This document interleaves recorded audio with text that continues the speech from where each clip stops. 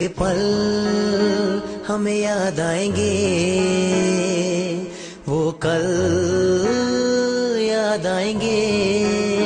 हमने किया यह जो भी किया रोके कभी हंस के जिया। खुशियाँ कभी गम भी